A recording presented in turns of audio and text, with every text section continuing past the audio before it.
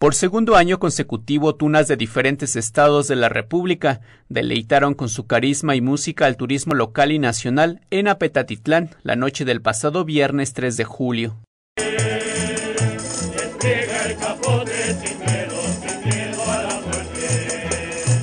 Sus calles se convirtieron en verdaderas callejoneadas al estilo Guanajuato, con diversas interpretaciones y bailes a cargo del denominado Tuno.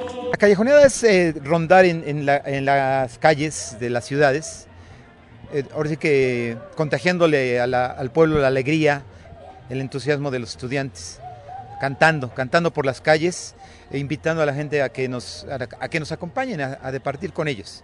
El público asistente pudo conocer y disfrutar más de este arte popular en nuestro país.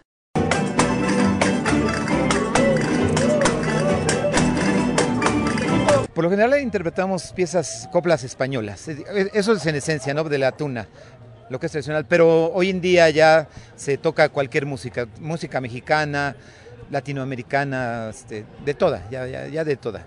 Las tunas de la Universidad de Guerrero, Politécnica del Valle de México, Femenil de la Autónoma de México y de la Autónoma de Tlaxcala recorrieron las principales calles de Apetatitlán hasta altas horas de la noche.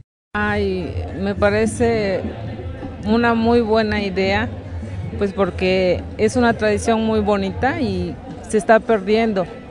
Entonces, es para mí es maravilloso retomarla y este y que siga todas estas tradiciones. Pues bueno, a nosotros nos parece fabuloso que se estén dando ese tipo de actividades culturales dentro del municipio porque desafortunadamente a veces la cultura se deja a un lado.